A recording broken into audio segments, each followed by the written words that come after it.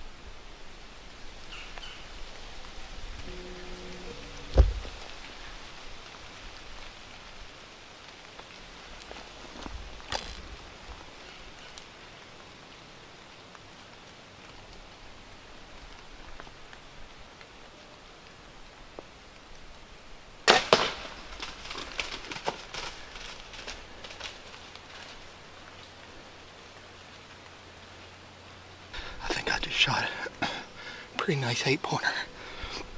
Oh my god. He ran, I saw him run a long way. But I think I drilled him. Oh, I gotta call Jared. He's like 150 yards from me. Did you hear that? Yeah.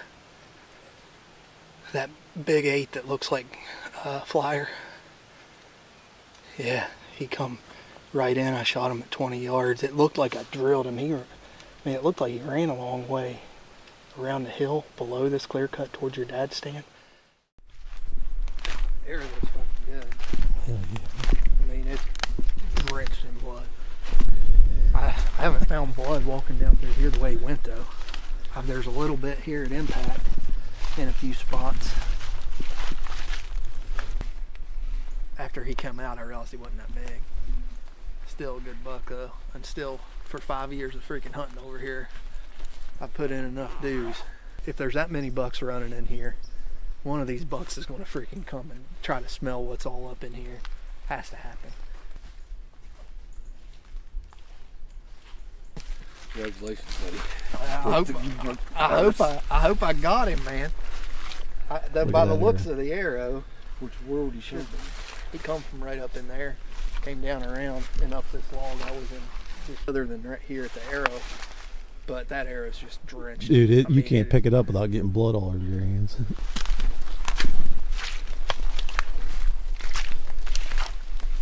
That's blood right here. There's blood right here. There we go.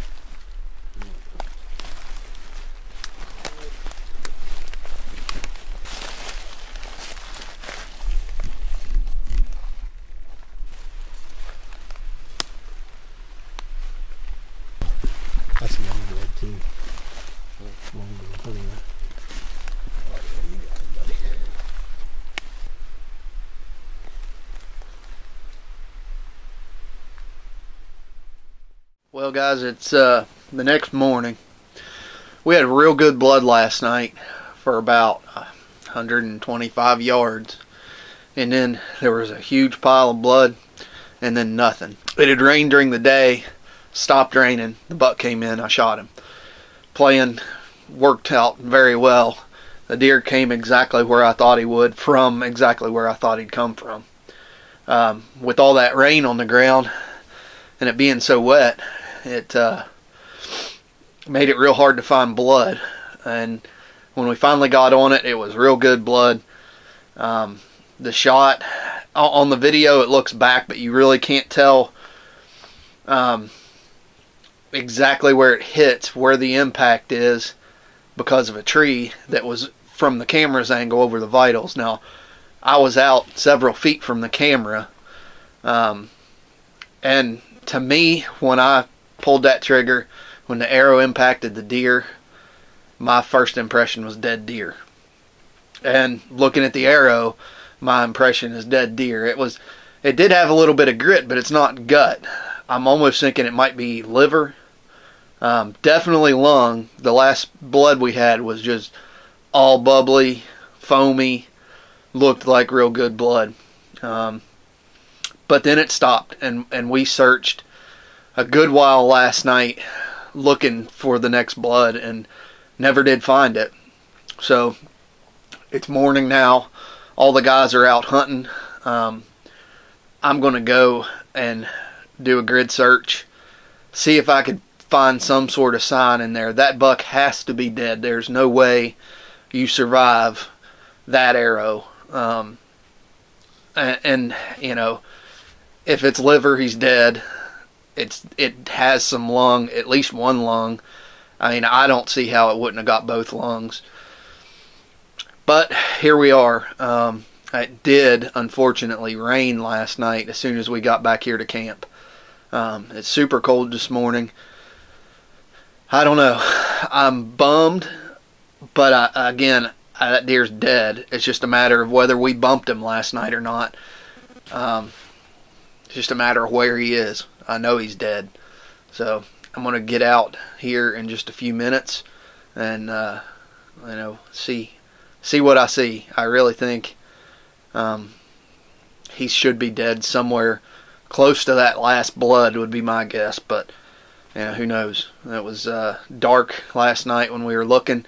He could be real close and we just never saw him.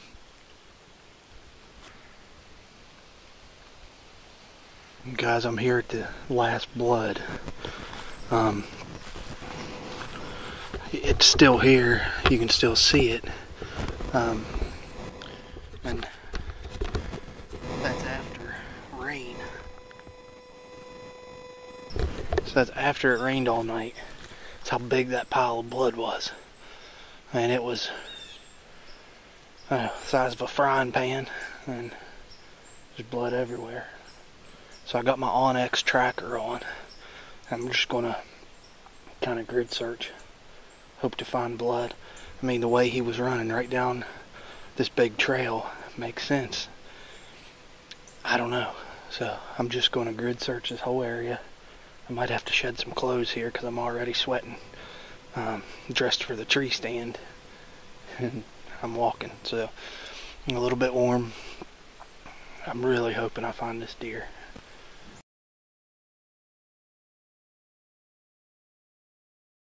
Well, guys, I uh, had to give up. I looked and looked and looked and looked and looked for that deer all morning. And this just wasn't anywhere. I have no idea what happened to that deer. It really is. It's like it just poof. No tracks. No spots where it slid no leaves kicked up, no blood, no hair, no nothing. It's like it hit that one spot. And once it hit that spot, the deer just vanished into thin air. I looked everywhere on our property and just didn't see any sign of any deer that was crippled up or anything. I know the deer's dead. You don't get an arrow that looked like mine from a deer that's alive. And we probably wouldn't have tracked it so quickly, but everything pointed to a lung, double lung shot. And it looked like a double lung. So, I don't know.